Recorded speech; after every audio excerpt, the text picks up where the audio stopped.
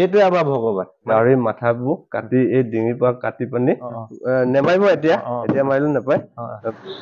নমস্কাৰ আমি আছো শিৱসাগৰৰ সেই বিশেষ ভৈয়ামৰ নগা গাঁওখনত আৰু নগা গাঁওখনৰ বিষয়ে মই জানিবৰ কাৰণে আহিছো আৰু আপোনালোকক জনাব বিচাৰিছো। বৰক তেনেহ'লে গাঁওখনৰ বিষয়ে অকণমান আমি জানো লগতে এই ভৈয়ামত থকা নগা কন্যাক জনগোষ্ঠীৰ বিষয়ে অকণমান আপোনালোকক জনাব চেষ্টা কৰিম।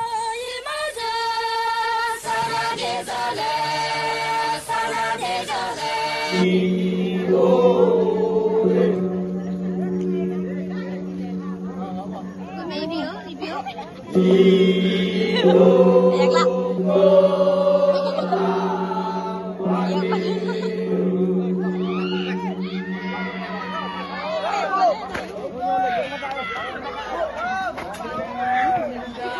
প্ৰথমে আমি আমাৰ লগত উপস্থিত থকা পবিত্ৰ কন্যাক বাইদেউ আছে। এখেতৰ লগত কথা পাতিব বিচাৰিছো। এখেতকে আমি অনুৰোধ কৰিম গোটেই গাঁওখনৰ বিষয়ে জনাবৰ কাৰণে আৰু আমি অনুষ্ঠানটো য'ত থিয় হৈ আছো ঠাইখিনিৰ বিষয়ে আমাক জনাবৰ কাৰণে। প্ৰথমে আমাৰ ককাইদেউক নমস্কাৰ জনাইছো আৰু পুনৰবাৰ। আৰু আমি প্ৰথমে গাঁওখনৰ সম্পূৰ্ণ নামটো জানিব বিচাৰিছো। গাঁওখনৰ নামটো কি হয় বাৰু? আমাৰ এইখন গাঁওখনৰ হাঁহচৰা নগা গাঁও বুলি কয়। হয়। আমাৰ মৌজাটো হাঁহচৰা পৰে গাঁওখনৰ নগা গাঁও। মৌজাৰ ভিতৰত পোৱা কাৰণে হাঁহচৰা মৌজা হয়। আৰু নগা গাঁও বুলি কয় আৰু কিবা এনে বেলেগ কিবা নাম এটা দেখিছো গেটৰ ফালে গেটত বা ক'ৰবাত সোমাওঁতে সেইটো। আমাৰ আমাৰ দোৱান থাকে ন। দোৱানত মানে লিখি থোৱা আছে মানে টিঙীয়া।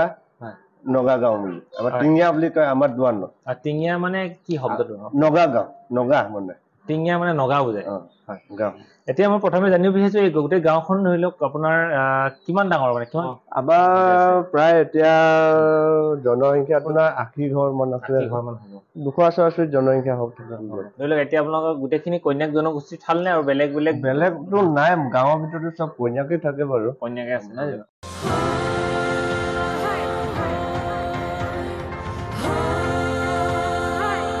এতিয়া আপোনালোকৰ ইয়াতে অসমত মানে ভৈয়ামত থকা শিৱসাগৰত থকা এই গাঁওখন কিমান বছৰ পুৰণি? প্ৰায় আমিতো বাৰু এতিয়া নাজানো আমিতো কোৱাহে শুনিছো বাৰু। হয় হয়। এইটো প্ৰায় ওঠৰশ চনতে অহা মানে। অ ইয়াতে মই এটা মানে চন দেখিছো এইখন যিটো চন। সোতৰশ পঁয়সত্তৰ চন লিখা আছে। সোতৰশ সিমান চনতে গাঁওখন অহা নেকি বাৰু? সেনেকুৱাতে অহা আমিও শুনা মতে আৰু। শুনা মতে ত সিমান চন কিমানটা উপাধিৰ মানুহ আপোনালোকে আছে ইয়াতে? আমাৰ বৰ্তমান এটা উপাধিৰ মানুহে আছে কন্যা।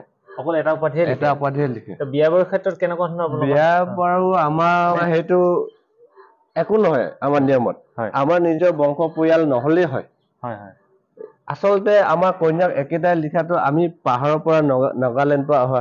ঢেৰ কিছু ৰকম মানুহ ইয়াত জাত গোট খাই আছে। আমাৰ নিজৰ পৰিয়াল চব নহয় বংশ তেজ মঙল নহয়। এতিয়া বেলেগেও কন্যাক লিখিব পাৰে। লিখিব পাৰে। তেওঁলোকৰ পৰা সম্পৰ্ক আমি কৰিব পৰা যায় মানে। ইয়াৰ মানে অতীতটো মানে বুৰঞ্জীটো কি জানে নেকি জনাব নেকি যে কেনেকৈ আহিবলৈ পালে ইয়াতে মানে বা ক'ৰ পৰা আহিছিলে অ আজিকালিতো বুৰঞ্জীটো নাইকিয়াই হৈ গৈছে বা আগতেতো অসম বুৰঞ্জী বুলি আছিলে। তাতো বাৰু লিখা আছিলে বাৰু। আমাৰ গদাধৰ সিংহ। ডালিমিক বিয়া কৰাইছিলে। আমাৰ শুনা মতে তেতিয়া ডালিমিৰ লগতে আমি গড়গাঁৱত আছিলো প্ৰথমত হয়। গড়গাঁৱৰ পৰাই এতিয়া আমাক এইডোখৰ ঠাইত দিয়া হৈছিলে মানে। মানে সেই তাই আহোম বুৰঞ্জীৰ লগত একেবাৰে ওতঃপ্ৰোত যিটো আমাৰ গদাপাণি ডালিমী কাহিনীটো সকলোৱে জানে আমাৰ অসমৰ প্ৰায় সংখ্যক মানে মানুহে জানে যে ডালিমী কথাটো যে কন্যাক জনগোষ্ঠীৰ এজনী ছোৱালী আমাৰ আহোম ৰজাসকলে ধৰি লওক মানে সম্পৰ্ক হৈছিলে। তো সেই সূত্ৰে গাঁওখন সৃষ্টি হৈছিলে। গতিকে। আমি গাঁওখন আহি কথাটোৱে জানিলো যে সত্য সত্যতা আমি পাইছো।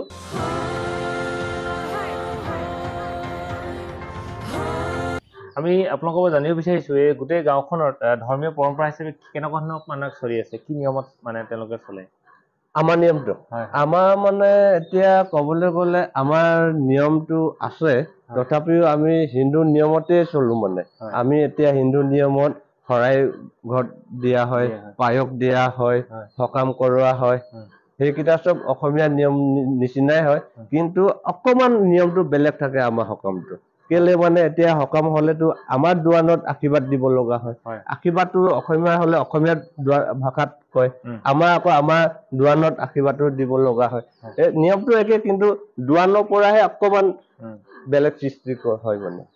আপোনাক মই এটা কথা অনুৰোধ কৰিম যে আপোনাৰ এতিয়া ইয়াত যিটো ভাষা চলি আছে বুলি কন্যাক মানে নগা ভাষা কন্যাক কন্যাক ভাষা বুলি ক'ব লাগিব। নহয় দোৱান দোৱান কয় বুলি আৰু। ক'ব লাগিব। কন্যাক লিখিত। যিটো নাই মানে ইংৰাজী লিখিত। লিখা হয় চাগে? ইংৰাজীত এইটো লিখিত আছে।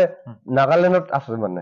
সেইটো আমাৰ ইয়াৰ ভিতৰত মানে আমি নাজানো লিখিত কোৱাটো সকলোৱে জানে। কোৱাটো সকলো জানে। প্ৰতিজন মানুহে কোৱাই জানে প্ৰতিজনে জানে কিন্তু লিখিতভাৱে আমি নাজানো।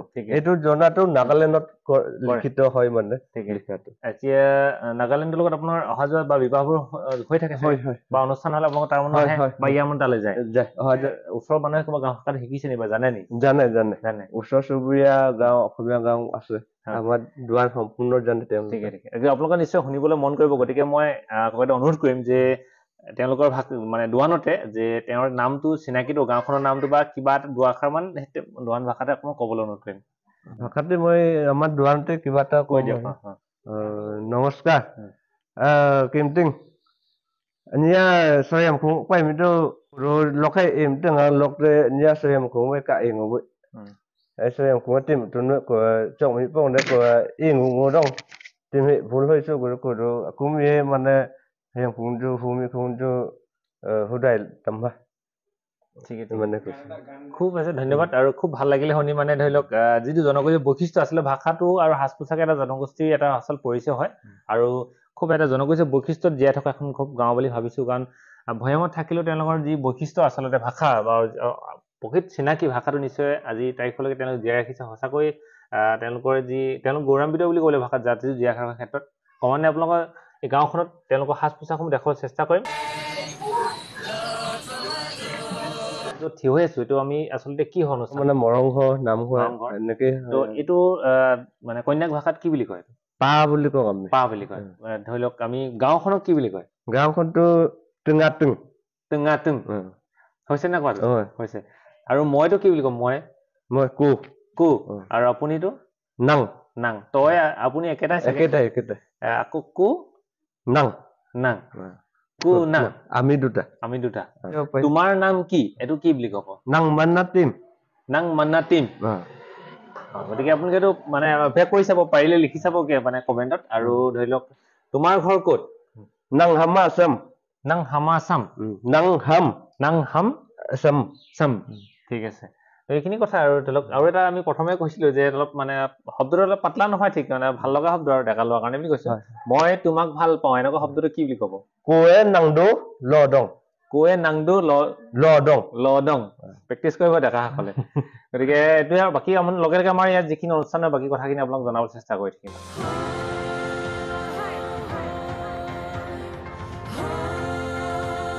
কিবা নিয়ম কানুন বেলেগ আছে মই অলপ এটা কথা জানি জানিছিলো যে শুনিছো যে ইয়াতে ডেকাসকল ৰাতি থাকে বা এনেকুৱা কিবা পৰম্পৰা আছে। হয় হয় থাকে। হয়। ডেকাসকল কেলে মানে এতিয়া। গাঁৱে গাঁৱে ধৰি লওক গাঁওৰক্ষী বাহিনী থাকে। হয় নে বাৰু। সেনেকে আমাৰ গাঁৱৰ কাৰণেও ডেকা লৰাই আমাৰ নামঘৰত ডেকা ল'ৰা খিনি হোৱা ব্যৱস্থা আছে। গাঁও ৰক্ষী থাকিবৰ কাৰণে সিহঁতক ৰখোৱা হয়। ইয়াত কাৰোবাৰ ঘৰত কিবা বিপদ পৰিব কাৰোবাৰ ঘৰত মাছ নিশা বেমাৰ পৰিব যেনেকুৱা তেওঁলোকক মানুহক সহায় কৰিবৰ কাৰণে ডেকা ল'ৰাবিলাকক। একতা কৰি ৰখা হয়। তাৰপিছত আমি এইফালে ক্ৰমান্বয়ে গৈ থাকিম আপোনাক। আৰু এটা বস্তু জনাবলৈ অনুৰোধ কৰিম যে এইখিনি আমি দেখিছো কিছুমান ধৰি লওক কৰংকাল বা এইবিলাক কিহৰ হয় বা কেতিয়াবা ৰখা হৈছে? এইটো আমাৰ পূজা কৰা হয়। এইটো প্ৰায় বহুত বছৰেই হ'ল। বছৰ আগৰ পৰাই আছে মানে। আমি গাহৰিৰ লগতে পূজা কৰা হয়। হয়। গাহৰিৰ মাথাবোৰ কাটি এই ডিঙিৰ পৰা কাটি পানি। ৰখা হয় এইবোৰ এইটো মানে হাড়টো উলিয়াই ৰখা হয়? অ হাড়টো থোৱা হয় ইয়াত হয় হয়। এইটো প্ৰতি বছৰে ৰখা হয় প্ৰতি বছৰে পূজা কৰিলে গাহৰি মাথা হাড়টো ইয়াত ৰখোৱা হয়। প্ৰতি বছৰে বছৰে ৰখা হয় ৰখোৱা হৈছে এই বছৰ কৰা হ'লে চাগে সেইটো কেতিয়া কৰা হয়? বছৰত? সেইটো বছৰত আমাৰ মাঘ বিহু যিটো আপোনালোকে ভোজ খায়। ৰাতি খায়। আমি দিনত খাওঁ। তেতিয়া আমি গাহৰি লগত ইয়াত ভোজ খাওঁ এইটো ধৰি লওক বেছি পুৰণা নষ্ট হৈছে চাগে। নষ্ট হৈ যায় এইবোৰ চাইজ কৰা হয় আৰু। আৰু এটা বস্তু দেখাও এইফালে আহক। এইটো মানে আমাৰ যেতিয়া বিহু হয় বিহু হলে উঠি দিয়ক অ, এইটো বস্তু বজোৱা হয় মানে। এইটো বস্তু ইয়াত মাৰি নেমাৰিব এতিয়া। এতিয়া মাৰিলেও নাপায়। বিহু হলে খুব আমি আপোনালোকৰ ঢোল আছে আমি এইটো বজাই আমি বিহু মাৰো ঢোল নিচিনা এই বস্তুটো লৈ ল'ব তাৰমানে এনেকে ন? অ সেনেকে। আৰু এইটো যেতিয়া মান বিপদ আহে মানে। মানুহ কিবা ঢুকাই হয়। তেতিয়াও ইংগিত দিয়ে এইটো মাৰি পানি। সেইটো কাৰণে এতিয়া মৰা ছিজন নহয় এতিয়া আমি এইটো যদি মাৰি পাওঁ কিন্তু মানুহ গাঁৱৰ মানুহ অবাক খাই যাব। সেইটো কাৰণে আমি এইটো এতিয়া। এইটো আমি একচুৱেলি আমাৰ আগতে গাঁৱত কেতিয়াবা গাঁৱত যে মানে নামঘৰীয়াবিলাক শুনিছো যে বৰ কি কয় এইটো দবাটো বজাই দিয়ে হয়, বিপদ হ'লে হয়, ক'ৰবাত ধৰি। লওক ঘণ্টা বজাই দিয়ে বা এনেকুৱা থাকে ইয়াতে এইটো হ'লে বিপদ বি- চাউণ্ডটো চাগে গোটেই গাঁৱলৈকে শুনিব গাঁৱত কি বৰ আপোনাৰ দহ কিলোমিটাৰলৈকে শুনি পাব এজনে বজাই দিলেও হৈ। যাব। এজন নহয় ইয়াত ছয়। সাতজন এইফালে ছয় সাতজন আপোনাৰ ৰাতি হলে বহুত দূৰলৈকে শুনে। প্ৰায় দহ কিলোমিটাৰ শিৱসাগৰৰ পৰা শুনিয়ে পাব এইটো। এই গোটেইখিনি বজাই দিলে? গোটেইখিনি বজাই দিলে মানে। ইমান ডাঙৰ চাউণ্ড এটা আহিব। ৰাতি হ'ব লাগিব। দিনত ইমান নাযায় বাৰু। এইটো কিমান বছৰ পুৰণি হয়? এইটো প্ৰায় এইটো পঞ্চাছ বছৰ পাৰেই হ'ল। এই কাঠটো। এই বহুত ডাঙৰ গোল আছিলে ইমান ডাঙৰ এইটো কি গছৰ কাঠ ব্যৱহাৰ কৰা হয় কৰা? এইটো কৰৈ গছ হয়। পৰি গছ হয়।